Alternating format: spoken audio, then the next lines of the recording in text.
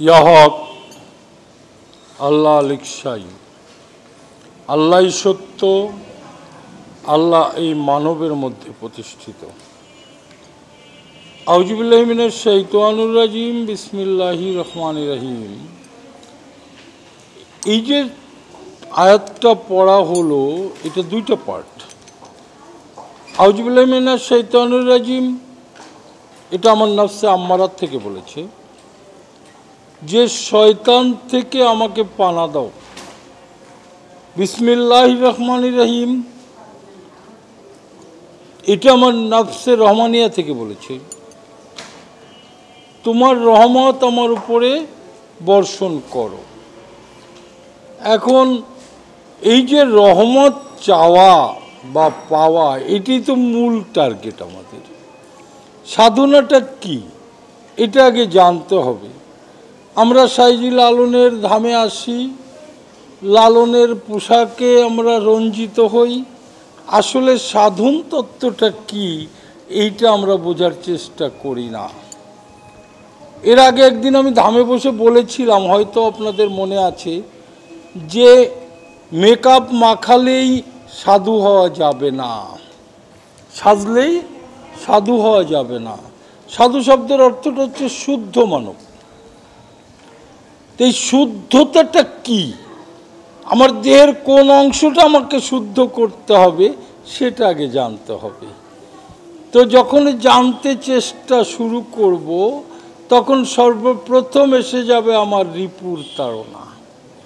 এই দেহে ছয়টা রিপু বসত করে, কাম, ক্রোধ, লোভ, মোহ, মাত, মাৎসর্য।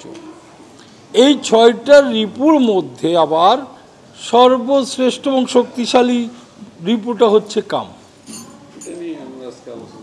আজকের আলোচনাটা এইটার উপরেই আসবে, যেটা আমাকে বলা হয়েছে যে আসলে এই কামকে কন্ট্রোল করে কীভাবে আমরা সিদ্ধতায় পৌঁছাতে পারব। তো আসলে বিষয়টা হচ্ছে কি, যে শুধু রিপু দাবড়ালে হবে না আগে এই দেহটাকে জানতে হবে। এই দেহের পঞ্চ বেনাকে জানতে হবে। আগুন, পানি, বাতাস, মাটি, নূর, এই পাঁচটা বেনা আছে এই দেহের মধ্যে। এখন যখন আমরা এই পাঁচটা বেনাকে জানার চেষ্টা করব, তখন একটা একটা করে আমাদের কন্ট্রোল করতে হবে। যখন আমি আগুনের কর্মটাকে জানব যে আমার দেহে আগুন কোন অংশটা, কোথার থেকে আগুনের উৎপত্তি তো সে তখন আমরা সেই বিষয়টাকে নিয়ে যখন চিন্তা করব বা ভাববো, তখন আমরা ক্লিয়ার হতে পারব আর আগুনকে দমন করতে পারব। আর যখন আগুনকে আমি দমন করব, তখন আগুন তো আর আমার দেহের ক্ষতি করতে পারবে না। ঠিক এইভাবে পাঁচটা বেনাকে আমাদের কন্ট্রোল করতে হবে। আর এই পঞ্চ বেনাকে কন্ট্রোল করতে গেলেই সর রিপু আমাকে তাড়না শুরু করবে। তারা চাইবে না যে আমি শুদ্ধ হই। তখন আমাদের একে একে ষড়রিপুকে কন্ট্রোল করতে হবে।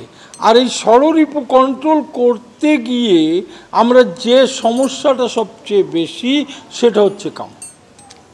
ক্রোধ আর লোভ, এই তিনটা হচ্ছে দেহের শক্তিশালী রিপু। এখন প্রথমে ক্রোধকে কমাতে হবে, এখন কমাবো কীভাবে? বিষয়টা সবাই বলছে যে কমাতে হবে কমাতে হবে, কিন্তু আসলে কমাবোটা কীভাবে? তাহলে ক্রোধটা কোথার থেকে আসলো? আমার ক্রোধটা আসছে অগ্নি থেকেই। যখন আমার শরীরে অগ্নি উত্তপ্ত হয়, তখনই হিটেড হয়ে যায় শরীর। আর হিটেড যখন দেহ হয়, তখন ব্রেন হিট হয়, আর তখনই আমার ক্রোধ হয়। তাহলে আমার এই হিটটা কীভাবে কমাবো? তাহলে এখানে সেবার বিষয় রয়ে গেছে। কি? তাই তো? এখানে সেবার বিষয় রয়ে গেছে যে তুমি সেবাকে কন্ট্রোল করো, তুমি আহারটা কন্ট্রোল করো। আর যখন আমি আহারটা কন্ট্রোল করতে পারব, তখন আমার দেহে ক্রোধটা কমে যাবে। আর ক্রোধ যখন কমে যাবে, আহার কমে যাবে, তখন হচ্ছে আমার লোভ পাশাপাশি কমে যাচ্ছে। যখন আমার প্রয়োজন কম হয়ে যাবে, তখন তো আর আমার লোভ থাকবে না। আমি আগে বলেছি সাধনাটা কি? তাহলে টার্গেটে পৌঁছানোটাই হচ্ছে সাধনা। যে আমি একটা অ্যাম্বেশনে রওনা হয়ে গেলাম, একটা অ্যাম্বেশন নিয়ে।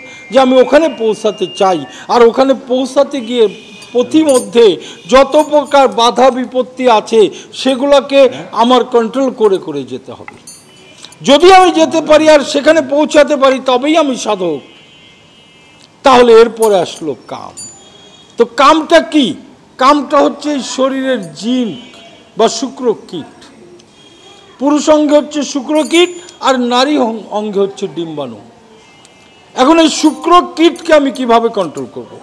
আমার দেহে যদি শুক্র কীটের উৎপত্তি হয়, তবে অবশ্যই সে আমাকে তাড়াবে। তাড়াবে নয় কি? আর সেই তাড়না থেকে আমার মুক্তি পাওয়ার পথ কী? তাহলে শুক্র কীটকে উৎপত্তি বন্ধ করতে হবে, ওই কারখানাটা আমার বন্ধ করে দিতে হবে। কীভাবে বন্ধ করব। তাহলে এখানে সেবার কিছু বিষয় রয়ে গেছে। যেমন মাংস খেলে জীব আহার করলে দেহে জীবের উৎপত্তি হয়। আমি জীবই আহার করব না, তাহলে জীবের উৎপত্তি হবে কোথার থেকে? এরপরে এই দেহ বায়ু দিয়ে প্রচলিত। আগুন, পানি, বাতাস, মাটি আর নূর বলেছি। তো বাতাসের কর্ম কি? বাতাসের কর্ম হচ্ছে এই দেহটাকে সচল রাখা। আর এই বাতাসকে যদি আমি কন্ট্রোল করতে পারি, তাহলে কি হবে? তাহলে আমার দেহটা আমার খুশি মতো চলবে। নাকি? এখানে বলা হলো, সাইজুল আলম বললেন যে ছয় মাসের এক কন্যা ছিল, নয় মাসে তার গর্ব হলো, এগারো মাসে তিনটি সন্তান। তাহলে এই তিনটা সন্তান কি আমার দেহে? এটা যদি আমি জানি, তাহলে ওই তিনজনকে দিয়ে আমি খেলা করতে পারি। কে করবে তার ফকিরি? এই তিনজনের মধ্যে একজন ফকির হবে, তাহলে ইরা পিঙ্গলা আর সুষমা। এখন এরা পিঙ্গলা সুষমা এরা দিয়ে ওঠে আর পিঙ্গলা দিয়ে নামে, পিঙ্গলা দিয়ে ওঠে, এরা দিয়ে নামে। এটাই বাতাসের ধর্ম। তাহলে সুষমার কাজটা কি? তাহলে ওই বাতাসকে আটকায় রাখা। আর তাই বলেছে, কুম্ভক করো, বায়ুর সাধন করো। যদি বায়ুর সাধন করে, তুমি বায়ুকে আটকাতে পারো, তোমার আত্মশক্তি বেড়ে যাবে। আর আত্মশক্তি যখন বেড়ে যাবে, তখন তুমি যা খুশি তাই করতে পারবে। তোমার কামের উদয় হয়েছে।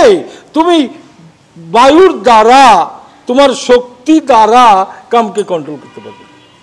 নাকি পারবে না? তো ছিল সক্রেটিস, সে বলেছেন home and know the self হে মানুষ, তুমি তোমাকে চেনো। দ্য গ্রেট পোয়েট হজরত মোহাম্মদ আহমদ সাল্লাহ আলাইসাল্লাম সেজ দ্য মান অফ নফস ফকাদার বহু যদি তুমি তোমার নফসকে চিনো, তুমি একটা প্রশ্ন আমাকে করেছ যে নফস কন্ট্রোল করব কীভাবে? তা নবীজি বললেন, যে তুমি তোমার নফসকে চেনো। তুমি কে? তোমাকে চেনো। যদি চিনতে পারো তো রবকে চিনবে। রিড দ্য গীতা গীতাতে বড় লিখলো। কি লিখলো?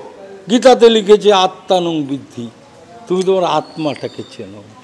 আর আমার সাইজি বলল আত্মাটাকে তা বলল যে আত্মা নামে কর্তা হরি, আর স্বয়ং স্রষ্টাই আমার ভিতরে বসে আছে আত্মার উপরে যেখানে মক্কা, মদিনা সমস্ত কিছু এই আত্মার মধ্যেই আছে। আর এই আত্মাটাই হচ্ছে নফস। আর এই আত্মাটাকে কন্ট্রোল যখন আমি করতে পারব, তখন তো আমার আল্লাহ আমাকে ধরা দেবে। তার আগে কি দেবে? দেবে না। তো নিজেকে জানতে হবে, চিনতে হবে, বুঝতে হবে। তারপরে সাধনার জগতে যেতে হবে। আর এখন দেখা যায়, এই কুষ্টে আসলে আমি দেখি, অনেক দেখেছি যে ওই সাইজির আঁকড়ার ভিতরে যখন অনুষ্ঠান হয় ইয়াং ছেলেপেলে সব সাধু সাধু বয়ে রয়েছে বউ একটা সাথে আছে, চারিপাশে মেয়ে অনেকগুলো বসে আছে। কেউ হাত টেপে, কেউ ভাও টেপে, কেউ আর মেকআপও করে দেয়। এরা কি সাধু? এরা সাধু নামের কলঙ্ক। আমি অকপটে কথা বলি। যদি কারোর হিম্মত থাকে, আমাকে যেন প্রশ্ন করে। কেন বলেছি? আজকে আমি কেউ না। আমি আমাকেই চিনতে পারি না। তাহলে আমি সাধু সাজবো কি করে? কি দেবো? আজকে তো দীপু বড় সাধু হয়ে যেত, কিন্তু সে তো সাধু হইল না। কেন হয় নাই? সে তো আমার চাষা গুরু, আমি স্বীকার করি, কিন্তু কেন তার গায়ে লেভাস নাই? আজকে আমার গায়ে কেন লেভাস কি দেব? এর পিছনে এই কারণ একটাই, যে সে তাকে চিনতে পারে নাই, সে তাকে কন্ট্রোল করতে পারে নাই, সে তার সংসারকে কন্ট্রোল করতে পারে নাই। যদি পারতো, আজকে আমার মতো সাধু হয়ে যেত ব্যাকগ্রাউন্ডে কোনো টেনশন নাই আমার। আমি ছেলে মেয়ে যা আছে সব দান টান কইরা দিয়া থাকো, সম্পদ টম্পদ দিয়া, আজকে আমি রাস্তায় রাস্তায় ঘুরে বেড়াচ্ছি। আমি শুদ্ধ মানুষ এই ঘুরে বেড়াচ্ছি। এইখানে আসো বাবা। সাজলে হবে না। তাই বলেছে, সাধু সেজো না, সাধু হও। নামাজি সেজো না, নামাজি হও। ধন্যবাদ সবাইকে। আবার আর একদিন অনেক কথা বলব, যদি সাইজি আমাকে কৃপা করে। গুরুর জয় হোক।